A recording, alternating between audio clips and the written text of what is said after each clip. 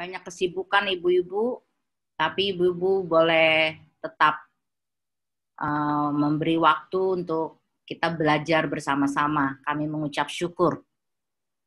Nah, sebelum kita mulai, kita akan menyanyi dulu, dipimpin oleh Ibu Gilda, kemudian nanti doa pembukaan akan disampaikan oleh Ibu Pendeta Rohani, Ibu Pendeta Ani.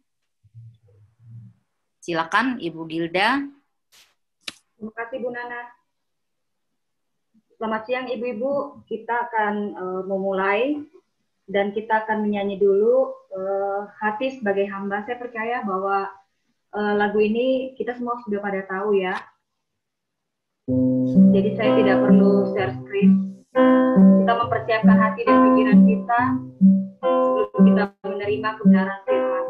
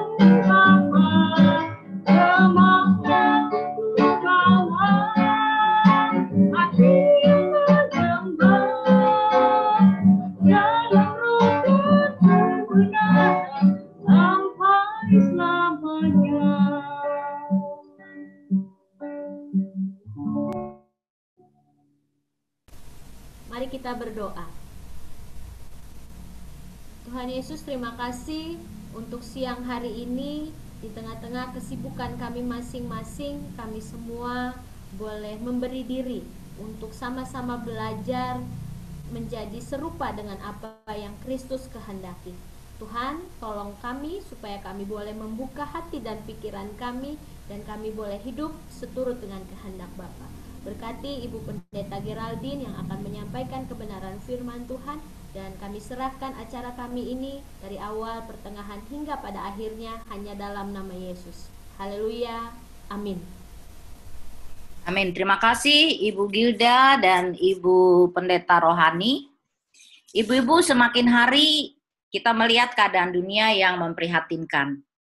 Ya, ada kebohongan, hoax di mana-mana yang kadang uh, ngeri gitu ya ada banyak kepalsuan waktu saya pelayanan ke tembaga. Ini teman-teman tembaga rupanya lagi tidak ada semua. Ada salah satu bapak yang bilang sama istrinya, Ma, aku lihat kau ini penuh dengan kepalsuan katanya. Ya bulu mata palsu, ya hidung palsu, uh, alis palsu, kuku palsu gitu ya. Banyak sekali kepalsuan-kepalsuan, tapi maksudnya bukan hanya soal itu, tapi kepalsuan-kepalsuan yang terjadi di tengah masyarakat kita, ada berbagai macam kecurangan, ya manipulasi masyarakat menjadi kacau, rumah tangga rumah tangga khususnya di di masa COVID ini, masa pandemi ini KDRT meningkat gitu ya. Nah, Nabi Yesaya menulis keadaan ini dan berkata hukum telah terdesak ke belakang dan keadilan berdiri jauh-jauh. Sebab kebenaran tersandung di tempat umum, bahkan kebenaran telah hilang. Nah, ibu-ibu kita mungkin bisa bertanya, kenapa kebenaran bisa hilang? Padahal kebenaran adalah harta kehidupan yang paling berharga. Tapi kenapa bisa hilang? Ya di kitab Yesaya 59 itu dikatakan karena manusia telah memberontak dan mungkir terhadap Tuhan. Itu yang membuat manusia kehilangan kebenaran. Ya karena pemberontakan, karena ketidaktaatan. Orang sudah melecehkan kebenaran sedemikian rupa sehingga kebenaran sulit sekali dijumpai. Nah, pelecehan akan kebenaran, meremehkan kebenaran, tidak taat kebenaran, akan menghasilkan kerusakan penderitaan, dan kehancuran. Baik bagi kita pribadi, rumah tangga, gereja, maupun masyarakat. Nah hari ini kita kembali belajar menjadi cafa. Penolong yang memberi kehidupan. Kita akan membahas tentang ketaatan yang membebaskan. Ya kita sudah masuk ke sesi dua dari rangkaian pembinaan uh, camp kita, camp Cafa, Cermin Kemuliaan, sesi 2 judulnya. Ya kita belajar bagaimana bisa terus mencerminkan kemuliaan Tuhan melalui hidup kita sebagai seorang wanita. Pembicara kita pada siang hari ini adalah Ibu Pendeta Geraldina Zakarias STH. Beliau gembala sidang di Gereja Kristen Oikumene di Indonesia atau GKO, Jemaat Sola Gracia, Sunter, Jakarta Utara ya. Memang beliau belum pernah menjadi pembicara di camp-camp Cafa, tapi sudah terlibat beberapa kali sebagai fasilitator di camp Cafa baik di lingkungan GKO maupun di camp-camp lainnya. Uh, beliau sudah menikah, tetapi beberapa tahun lalu suami sudah dipanggil pulang ke rumah Bapak di surga. Saya persilahkan kepada Ibu Geraldina untuk membawakan sesi pada siang hari ini. Ya, terima kasih Ibu Nana. Shalom Ibu-ibu. Shalom wanita Cafa. Boleh lambaikan tangan, menyapa setiap monitor yang ada. Ya, baik kita langsung saja mulai eh, pembahasan pada siang hari ini. Mari kita sama-sama memperhatikannya.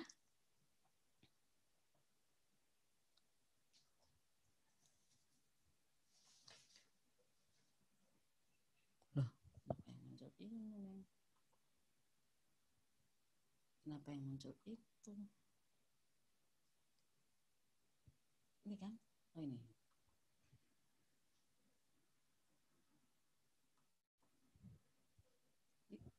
lagi yang muncul? Ya? Apaan? Ini dihapus ya?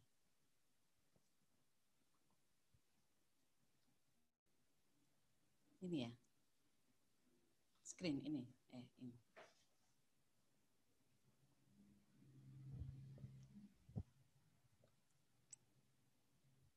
Ya, eh, Ketaatan yang membebaskan akan menjadi bahasan kita pada siang hari ini. Ayat firmannya terambil dari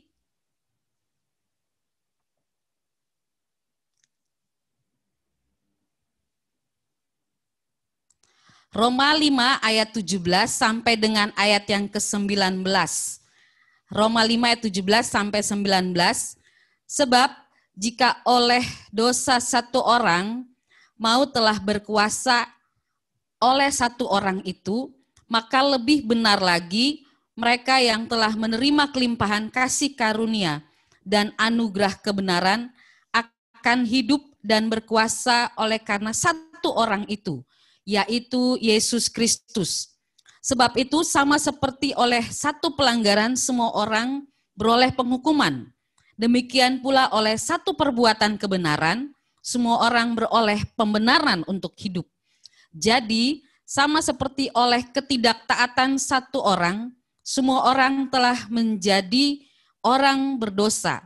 Demikian pula oleh ketaatan satu orang semua orang menjadi orang benar. Demikian pembacaan Alkitab untuk kita semua. Ibu-ibu yang dikasihi Tuhan, perempuan itu diciptakan Allah sungguh amat baik. Itu kata Tuhan dalam kitab Kejadian. Manusia diciptakan Allah sungguh amat baik. Allah menilai penciptaan itu sempurna dan baik. Bahkan penciptaan itu juga di mana Allah eh, dalam konsep ketepatan berpikir Allah, dia tidak hanya menciptakan Adam, tapi dia juga menciptakan perempuan. Allah melihat segala sesuatunya dan dia menaruh hatinya pada perempuan, yaitu hatinya Allah penolong. Penolong yang merupakan eh, karakter atau sifat daripada Allah, dia taruh kepada perempuan. Bahkan perempuan menjadi sangat ideal di sana ada hidupnya Allah, di sana ada hatinya Allah.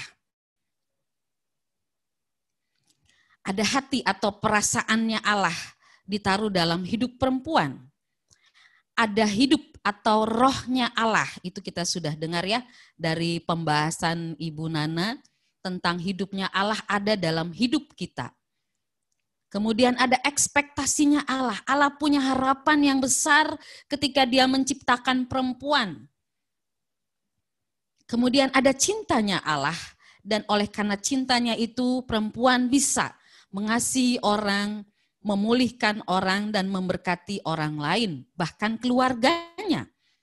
Dan ada karakternya Allah yang lain ada pikirannya Allah. Jadi perempuan diciptakan begitu indah, unik, cantik, ada hati perasaan Allah, hidupnya Allah, ekspektasinya Allah, cintanya Allah, karakternya Allah, pikirannya Allah. Luar biasa sekali perempuan diciptakan begitu unik, indah, lengkap dalam konsep ilahi. Namun ironisnya, perempuan menjadi salah, bahkan menyalahkan Mengapa?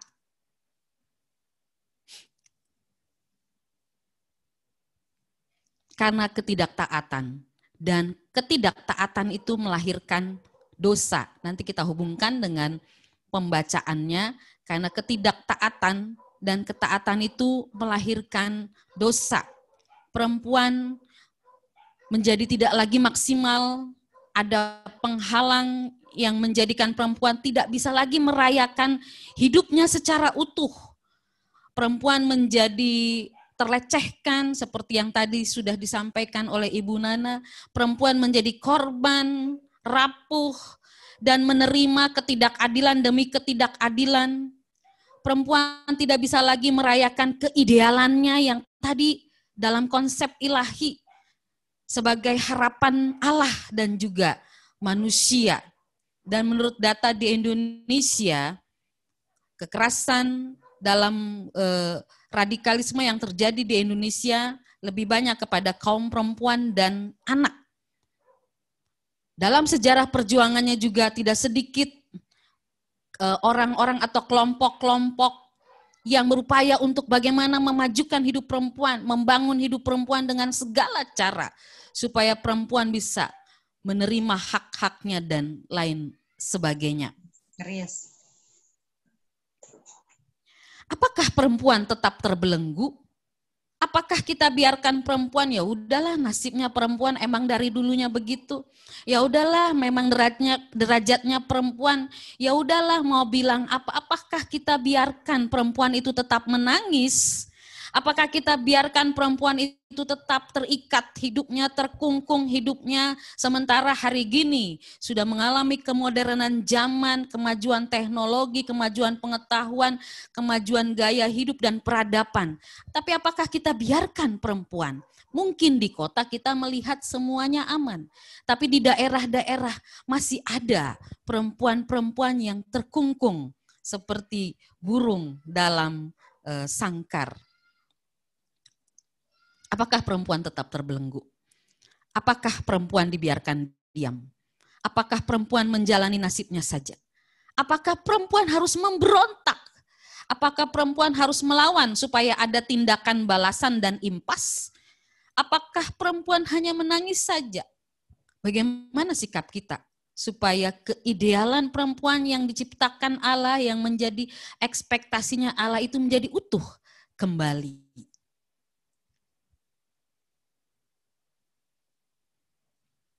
Sebelum menjawab itu kita perhatikan balik lagi kepada ketidaktaatan tidak hanya melahirkan dosa, tapi ketidaktaatan itu mengakibatkan kefatalan. Tadi Ibu Nana juga sudah menyinggungnya bagaimana dampak dari ketidaktaatan itu menyebabkan perempuan eh, menjadi akibat kefatalannya bagi dirinya, bagi keluarganya, bagi orang lain, bagi masyarakat, bagi gereja, bagi bangsa. Sementara perempuan harusnya mengalami kemaksilan, kemaksimalan hidup, potensinya dipakai. Tapi karena ketidaktaatan, karena dosa, gambarnya jadi rusak. Potensinya menjadi patah. Harusnya dia melangkah lebih jauh tapi tidak bisa bahkan terikat dengan segala macam hal termasuk problem emosi dan tidak menghasilkan generasi yang unggul.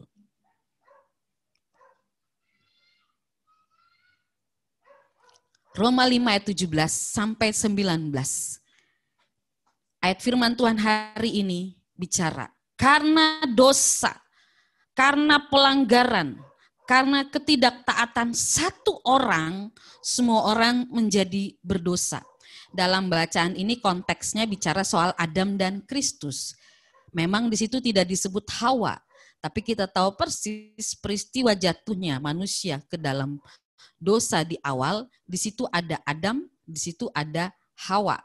Hawa disebutkan menjadi pemicunya, jadi penyebabnya. Tapi yang jelas tidak Adam di situ saja, tapi ada Hawa, ada perempuan di situ juga. Dan karena e, ketaatan atau karena ketidaktaatan itu, maka disebutkan kejatuhan Adam dan Hawa menjadi simbol ketidaktaatan manusia. Apa yang membuat Hawa tidak taat? Karena keinginan daging, karena keinginan mata, karena keangkuhan hidup. Ada ular, iblis yang menipu manusia. Dan ada tiga hal yang selalu datang dari iblis. 1 Yohanes 2 ayat 16. Yang selalu datang dari iblis untuk menggoda, untuk membujuk kita. Ada keinginan daging, keinginan mata, keangkuhan hidup. Yang bisa membawa kita menyeret kita dan kita menjadi tidak taat. Ular atau iblis itu datang seperti iklan, menawarkan, menggoda kita memilih. Manusia membuka celah. Manusia memilih dan menyerahkan free will-nya. Free will itu kehendak bebas kemauan bebas. Setiap kita punya kehendak bebas, punya kemauan bebas untuk ketiga hal itu. Dan Hawa memilih untuk ikut apa yang dikatakan ular. Padahal ular sedang membangun asumsi-asumsi lain tentang perintah Allah. Dan Hawa membuka dirinya untuk setuju dengan tawaran ular atau iblis. Yakobus 1, 14 sampai 15, tetapi tiap-tiap orang dicobai oleh keinginannya sendiri karena ia diseret dan dipikat olehnya. Dan apabila keinginan itu telah dibuahi, ia melahirkan dosa. Dan apabila dosa itu sudah matang, ia melahirkan maut. Ketidaktaatan melahirkan dosa dan berujung pada maut.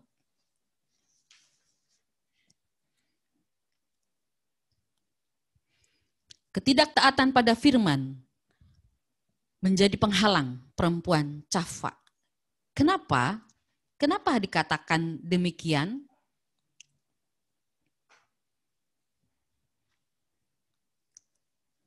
Karena manusia yang saya sebutkan tadi, perempuan sebagai pemberi kehidupan, disadari atau tidak, Salah satu penghalang yaitu ketidaktaatan pada firman. Mungkin kita anggap sepele biasa aja yang namanya tidak taat. Tapi perhatikan, kita ini adalah sumber. Kita disebut ibu atau perempuan pemberi kehidupan. Dan kita tidak hanya pemberi kehidupan begitu saja dengan kita kasih makan minum supaya orang hidup sehat, tapi kita punya roh Allah yang menghidupkan itu dan karakter Allah yang e, membentuk kita itu, hatinya Allah itu yang akan kita transferkan ke orang lain. Bagaimana mungkin ketika kita tidak taat, lalu kita mau transfer apa ke orang lain? Apakah kita akan mau transfer ketidaktaatan? Kehidupan apa yang mau kita tampilkan? Kehidupan apa yang mau kita bagikan? Secara khusus dalam keluarga kita, untuk suami, untuk anak, untuk orang tua, untuk orang-orang yang ada di sekitar kita, untuk orang-orang yang kita layani, untuk orang-orang yang kita mentori, dan lain sebagainya. Pertanyaannya adalah, apakah perempuan bisa berubah dengan segala hal yang terjadi tadi?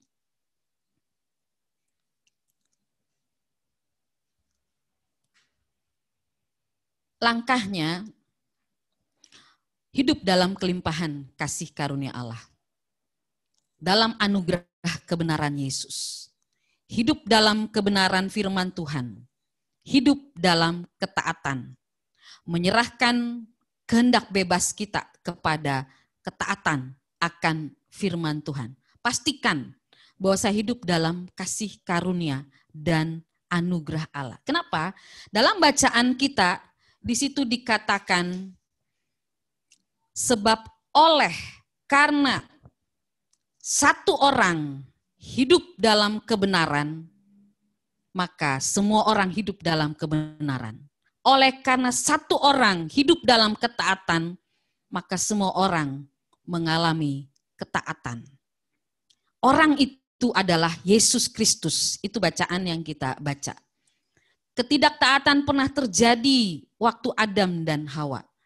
Tapi ketika dihubungkan dalam kitab Roma, Allah mengambil langkah dan inisiatif. Allah mengasihi, Allah mengampuni, Allah menghadirkan Yesus untuk menjawab ketidaktaatan yang pernah terjadi yang membelenggu, yang mengikat bahkan menjadi turun-temurun dari generasi ke generasi. Dan Allah di dalam Yesus Kristus dia menjadi manusia yang tampil dengan ketaatan. Bahkan Filipi 2 di situ dikatakan ia taat bahkan sampai mati di kayu salib. Ketaatannya itu dimunculkan supaya orang-orang yang terikat, yang terbelenggu dalam ketidaktaatan akibat dosa manusia itu dibebaskan hidupnya. Dan itu yang dikerjakan Yesus. Dia tidak hanya menyelamatkan atau membebaskan hidup satu orang. Ketaatan Yesus membebaskan hidup semua orang. Termasuk ibu-ibu dan saya. Ketaatan Yesus inilah yang dia lakukan begitu tekun. Yang dia lakukan dengan baik. Yang dia lakukan dengan kepasrahan yang aktif. Dan ketaatan itulah yang membebaskan kita Dan saya rasa kuasa pembebasan ketaatan Yesus itu tidak hanya menyentuh soal keselamatan kita, tapi juga dia menjadi spirit yang menggairahkan kita untuk kita juga hidup dalam ketaatan-ketaatan firman, ketaatan-ketaatan kita pada otoritas, ketaatan-ketaatan kita dalam kehidupan kita sehari-hari. Yesus Kristus teladan ketaatan buat kita dan pengaruh ketaatan Yesus membebaskan hidup banyak orang.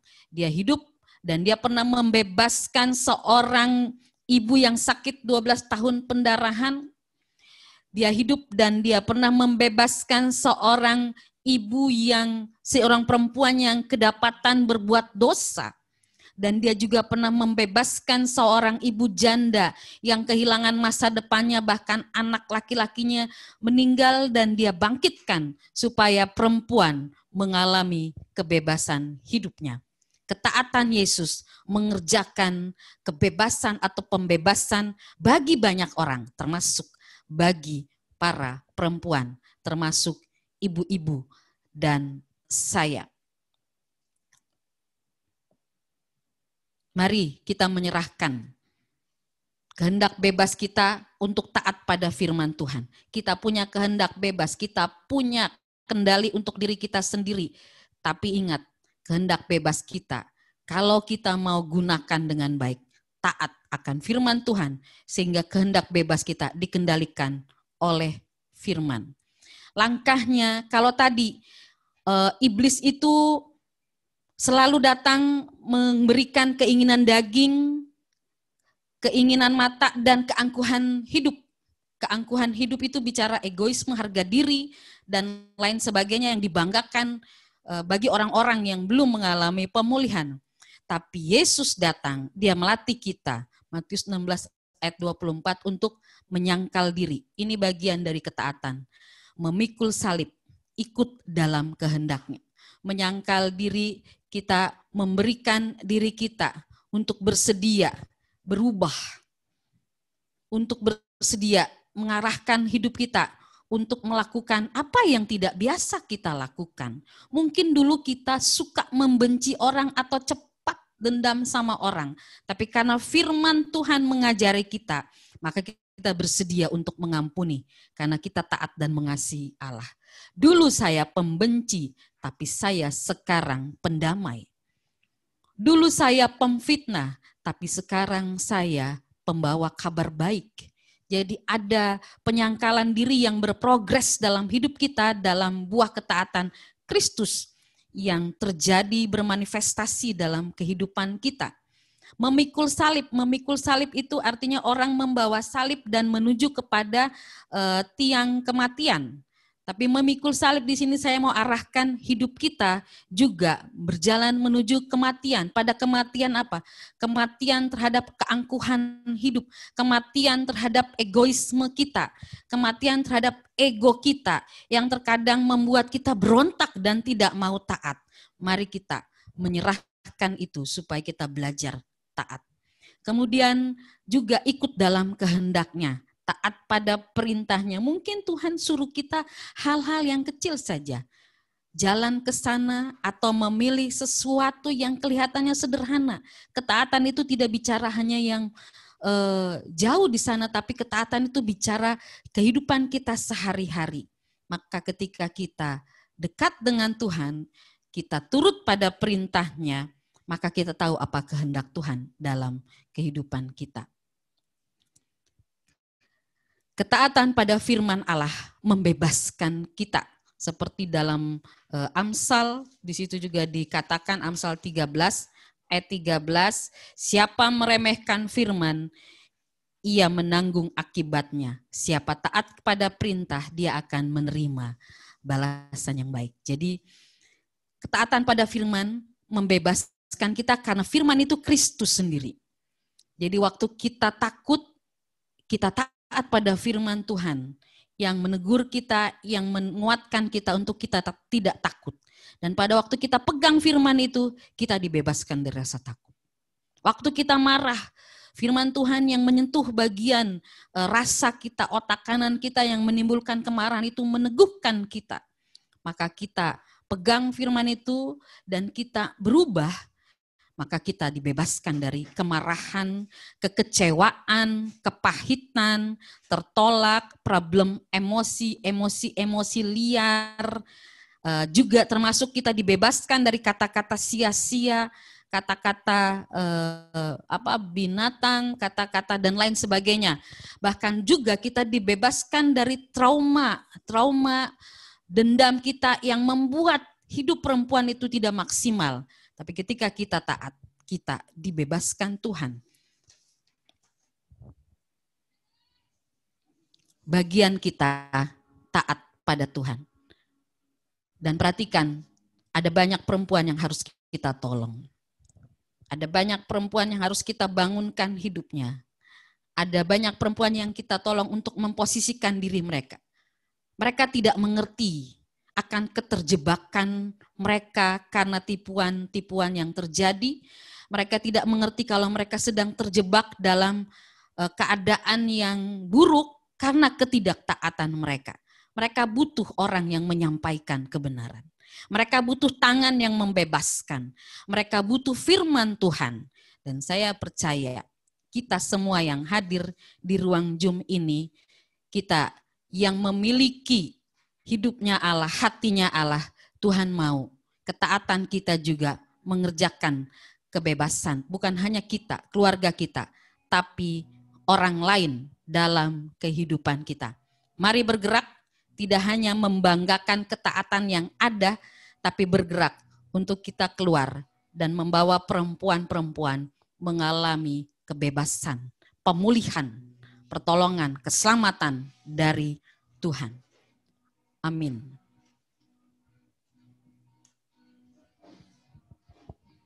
Saya serahkan kepada Ibu Nana Liur.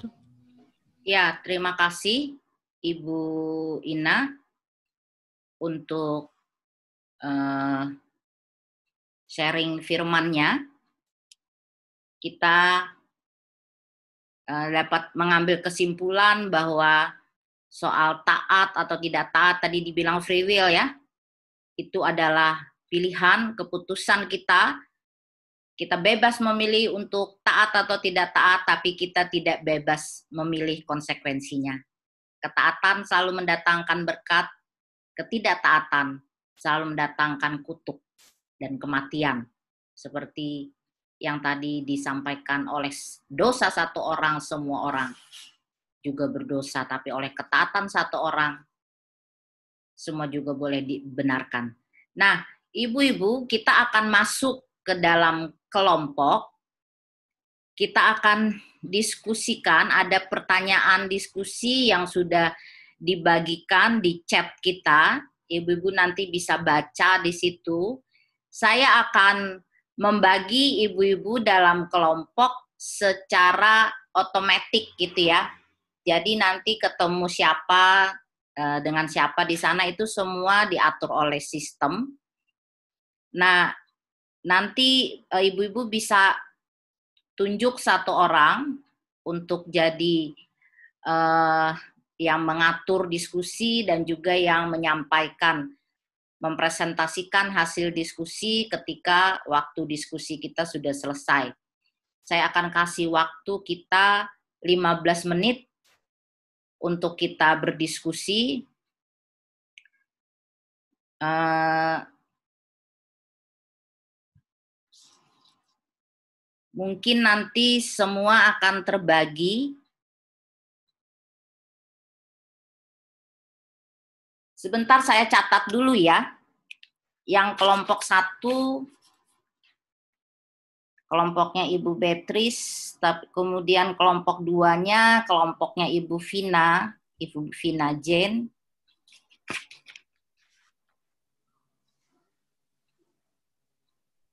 Kelompok tiga, kelompoknya Ibu Adriana, supaya nanti begitu penyampaian materi saya tidak susah untuk memanggil ibu-ibu.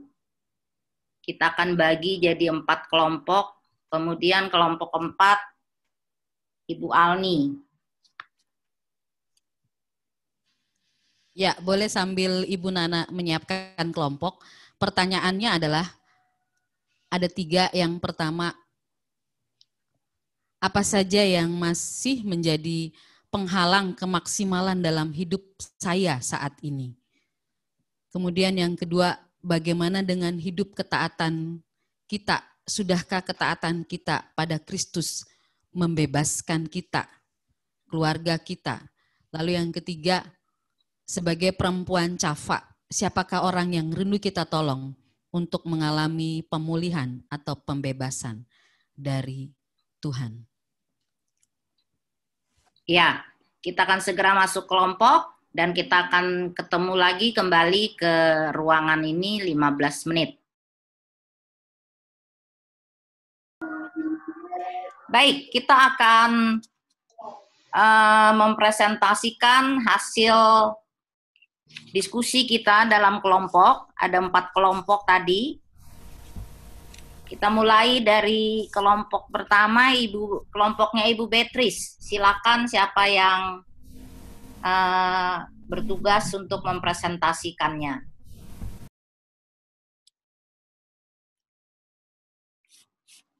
Suaranya Ibu Beatrice masih tertutup. Sudah, Bu? Ya, sudah. Ya, selamat siang teman-teman. Tadi karena waktunya juga mepet, jadi tanya cari pertanyaannya tidak berapa ketemu. Jadi kita akan saya sampaikan apa yang bisa kita simpulkan aja dari dari waktu sedikit ini.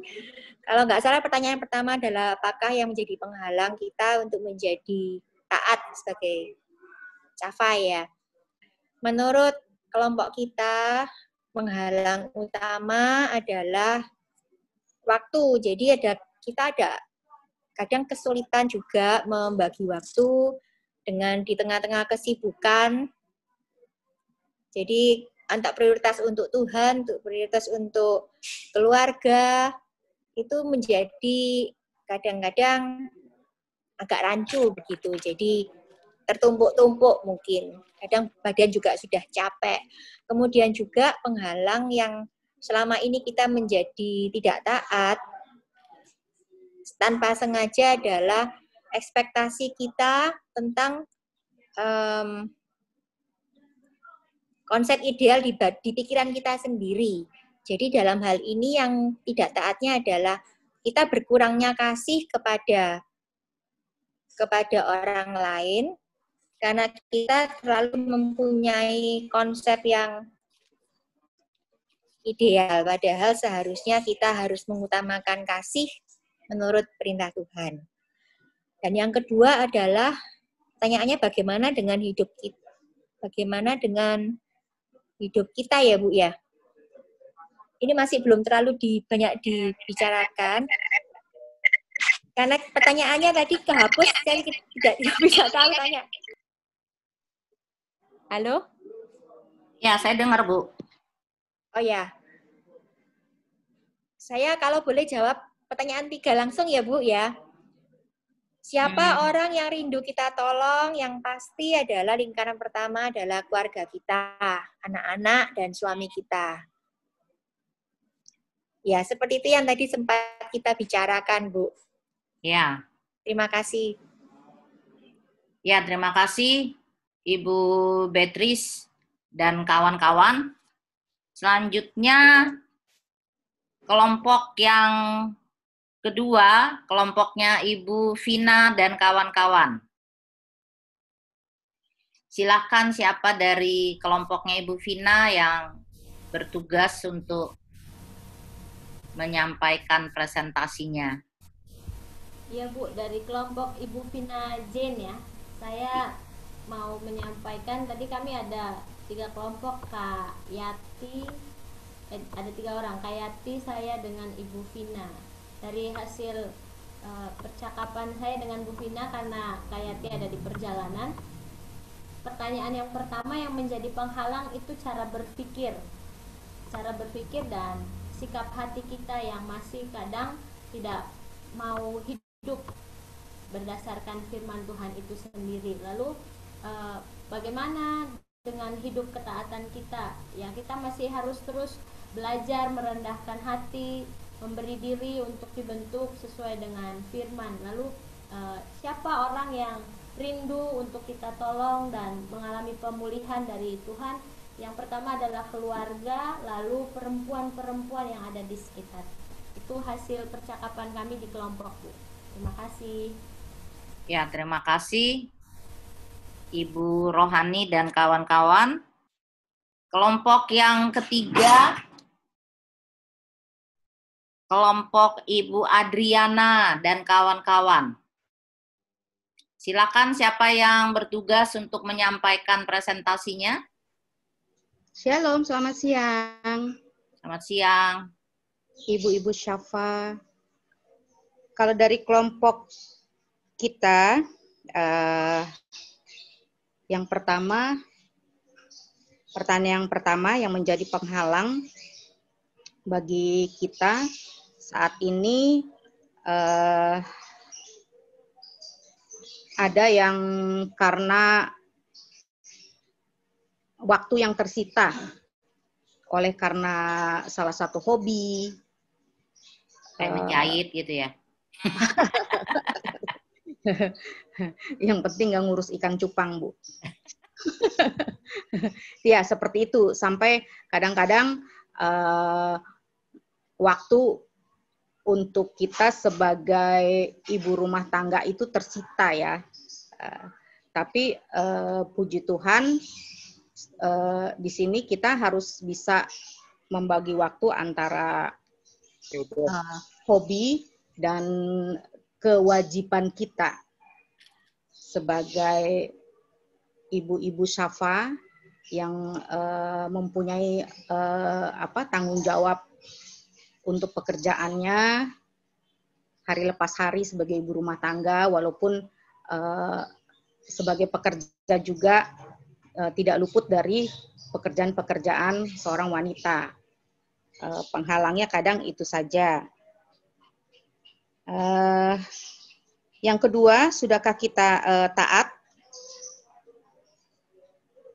Kalau untuk taat itu sebenarnya butuh proses. Jadi setiap saat kita harus kalau kita uh, menghadapi segala sesuatu kita harus uh, apa? ingat kembali akan firman Tuhan bahwa dengan taat uh, kita akan mendapat berkat. Itu aja. Uh, terus uh, kadang uh, Pak Angus Pak. Uh, terkadang uh, lupa lupa dengan uh, di apa ada be, uh, be, beberapa ibu yang bicara kalau kita kadang suka lupa terlalu uh, asik di zona nyaman kita. Jadi kadang-kadang suka uh, lupa untuk taat gitu loh. Tapi uh, puji Tuhan sebagai wanita Safa apa yang sudah uh, kita terima firman dan kebenarannya harus kita lakukan untuk selalu taat. Kemudian uh, untuk pertanyaan yang ketiga, yang rindu yang kita tolong yaitu sebenarnya pribadi diri sendiri dulu. Kita harus merubah diri kita untuk uh, bisa memancarkan kasih kepada orang lain, kemudian eh, orang-orang uh, yang terdekat, yaitu uh, keluarga, suami, anak-anak, orang tua yang masih tinggal bersama kami di rumah. Itu aja. Terima kasih. Ya, terima kasih Ibu Adriana dan kawan-kawan dari kelompok 3. Berikutnya dari kelompok 4, Ibu Alni dan kawan-kawan. Silakan, siapa yang akan mempresentasikannya? Iya, uh, terima kasih Bu Nana kesempatannya. Kalau kami dari kelompok 4, tadi kami bertiga, satu kelompok, saya, Bu Joyce, dan Ibu Gilda. Dari pertanyaan pertama yang menjadi penghalang terbesar kami bertiga uh, adalah satu, kesombongan. Kesombongan dalam arti merasa merasa bisa, merasa mampu sendiri tanpa bantuan orang lain. Sehingga di, di satu di satu waktu yang Tuhan uh, membuat kita akhirnya menyadari bahwa kesombongan itu tidak tidak baik dan tidak benar. Itu bentuk ketidaktaatan kita. Yang kedua adalah kesombongan dalam wujud meminta maaf kepada orang lain. terutama kepada keluarga. Kepada, ya. ya. Terus yang berikut penghalang terbesar adalah uh, sering kali menunda-nunda waktu. Dengan menunda waktu membuat kita tidak maksimal menjadi seorang cafa.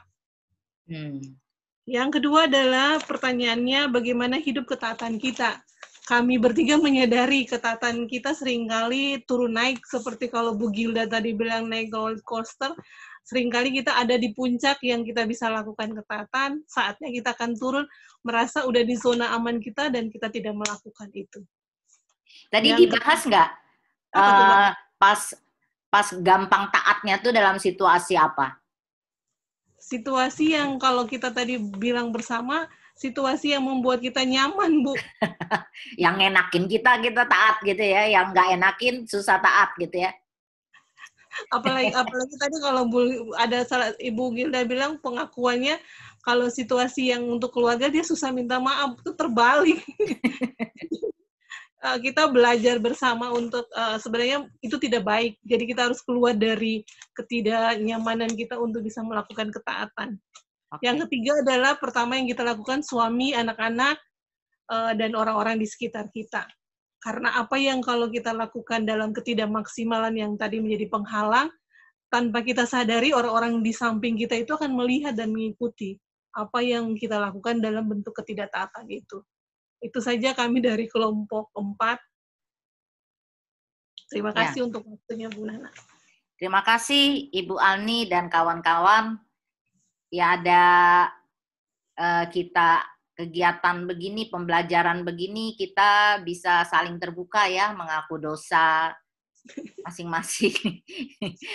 Tapi ya saya berharap setelah mengaku dosa ya bertobat gitu ya. Nanti kita akan bahas karena ini masih bagian dari sesi dua mengaku dosa adalah perintah gitu ya mengasihi adalah perintah bertobat adalah perintah Nanti kita akan bahas dalam pertemuan berikutnya. Terima kasih Ibu-Ibu semua untuk presentasi hasil kelompoknya. Ya kita tidak ada yang menyalahkan atau membenarkan, tapi kita belajar untuk saling terbuka, saling mengaku, dan merespon terhadap kebenaran firman Tuhan. Selanjutnya, saya kembalikan kepada Ibu Geraldina untuk closing statement dan doa untuk menutup seluruh uh, kegiatan kita hari ini. Silakan Ibu. Ya, terima kasih Ibu Nana, terima kasih ibu-ibu yang dikasihi Tuhan. Orang yang mengasihi Allah adalah orang yang uh, hidupnya taat. Dan itu menjadi manifestasi hidupnya Allah ada dalam hidup kita. Karena karakter Allah terbentuk atas kita. Dan kalau kita mau lihat tadi dari bacaan eh pertanyaan, bentuk ketaatan yang perlu kita bangun yaitu menyediakan waktu, waktu yang seimbang. Kita adalah orang-orang yang taat, bijaksana dan kita tahu bagaimana kita bisa mengatur, mengendalikan waktu termasuk komitmen-komitmen kita menjadi bentuk ketaatan. Komitmen melayani keluarga, komitmen melayani eh, dalam gereja, komitmen-komitmen yang kita bangun mungkin pernah kita lupakan atau kita tidak taati lagi. Saya mengingatkan kita untuk kita eh, perhatikan komitmen kita baik terhadap Tuhan, keluarga, dan tanggung jawab-tanggung jawab yang terkait dengan kehidupan kita. Kemudian kita juga belajar taat, belajar untuk mengerjakan perintah Tuhan yang tadi sudah disenggung dari ibu-ibu kurang mengasihi, rendah hati, eh, tidak mengampuni, eh, tidak minta maaf, itu perintah Tuhan. Ketika kita memilih untuk menahan maaf atau tidak mengampuni, kita sedang tidak taat. Dan mari kita mengikuti perintah Tuhan, mengasihi, mengampuni bukan eh, perintah atau supaya menyenangkan orang yang sedang kita hadapi, tapi kita sedang menunjukkan ketaatan kita. Saya mengampuni, saya mengasihi, karena saya taat pada perintah Allah, Allah yang sudah mengasihi saya.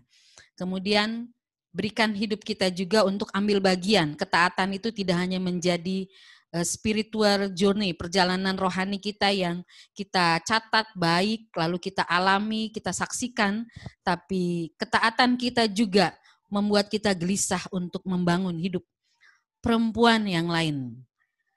Kita menolong keluarga kita itu sudah pasti, itu bentuk ketaatan kita.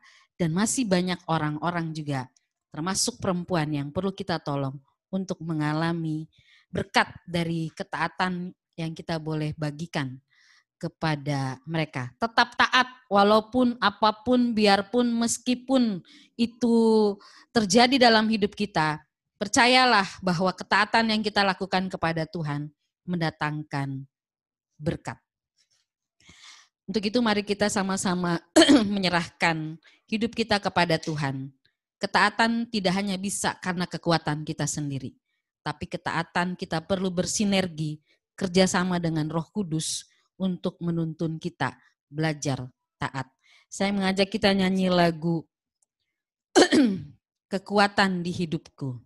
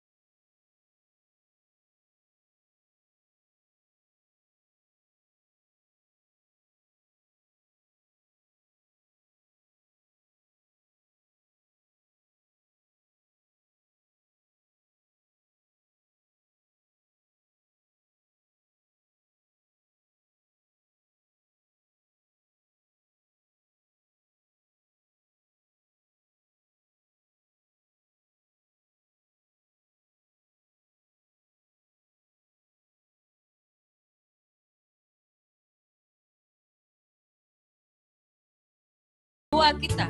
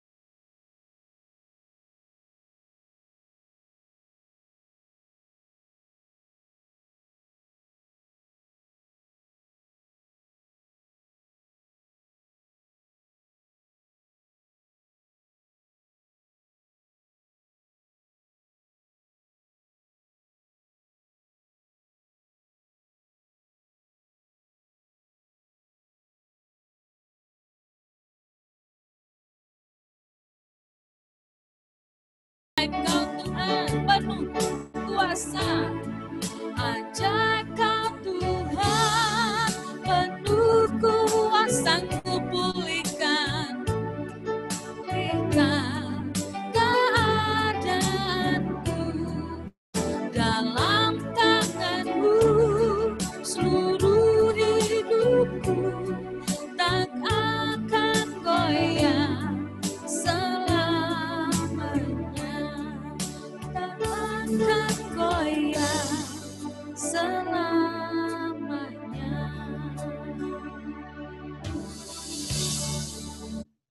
Bapa dalam sorga di dalam nama Tuhan Yesus Kristus firman kebenaran telah kami terima dan kami percaya kuasa roh kudus menolong kami untuk kami dibentuk Tuhan, kami sekarakter dengan Tuhan, kami memiliki hatinya Tuhan, pikiran, perasaannya Tuhan dalam hidup kami sebagai perempuan yang Tuhan eh, berikan predikat penolong.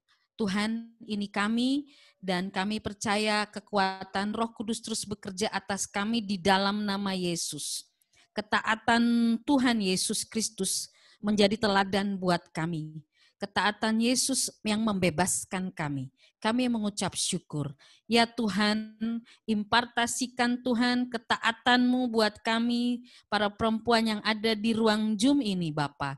Di dalam nama Tuhan Yesus Kristus, terjadilah ketaatan yang dari Tuhan itu membentuk kami sehingga kami pulang atau keluar dari Zoom ini, kami menjadi pelaku-pelaku firman. Kami mentransfer kehidupan yang taat kepada orang lain mulai dari diri kami, keluarga kami, orang-orang yang ada di sekitar kami, bahkan kerinduan kami lebih jauh daripada itu lagi ya Bapak, menolong orang-orang lain Tuhan yang mengenal, belum mengenal Yesus. Biarlah mereka juga mengalami kebebasan hidup dan mereka ketemu Tuhan dan mereka diselamatkan. Tuhan berkati kami semua perempuan pemberi kehidupan.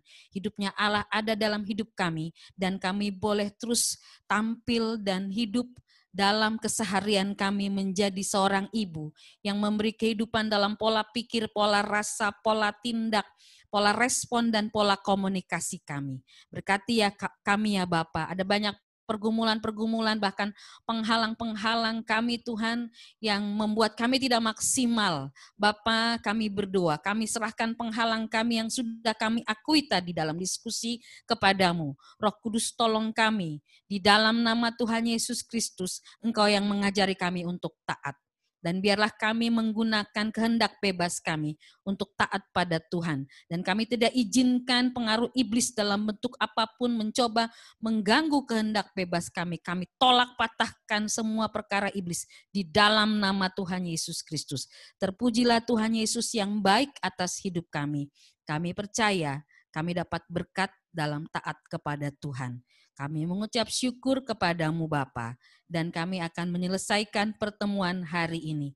Ibu-ibu terimalah berkat dari Tuhan.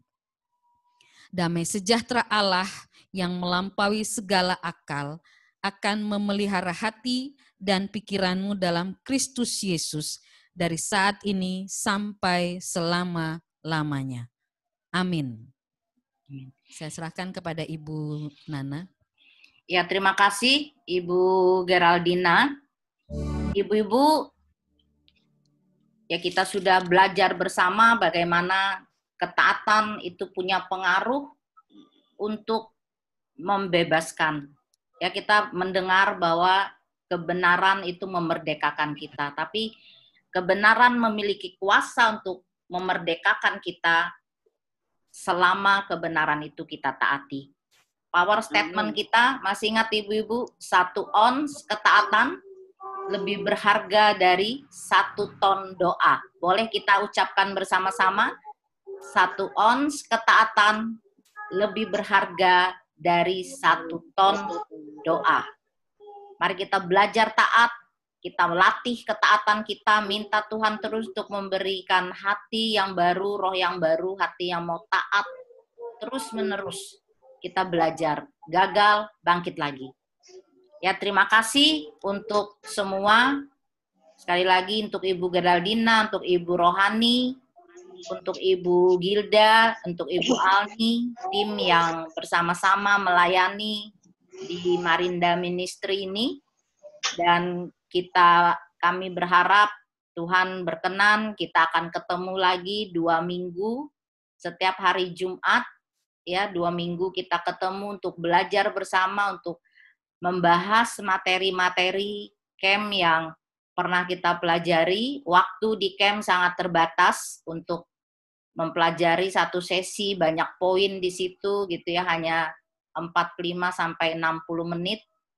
Makanya kita akan perdalam lagi di pertemuan-pertemuan ini. Saya berharap kita tetap antusias supaya kita boleh bertumbuh bersama menjadi wanita-wanita penolong yang memberi kehidupan. Terima kasih untuk setiap ibu yang hadir.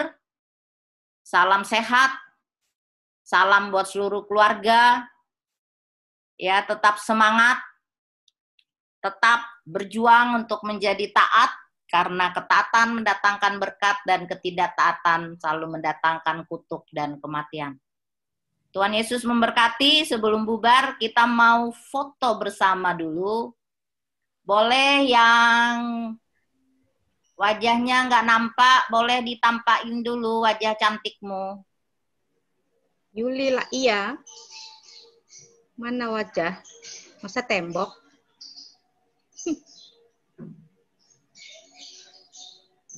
Ya, kayaknya cuma satu halaman ya.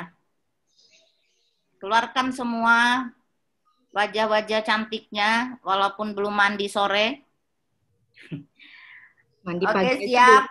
Hadap kamera, kasih senyum yang terbaik. Satu, dua, smile. Ya. Ya, terima kasih Ibu-Ibu untuk kehadirannya. Ya, Tuhan Yesus memberkati. maaf telat tadi.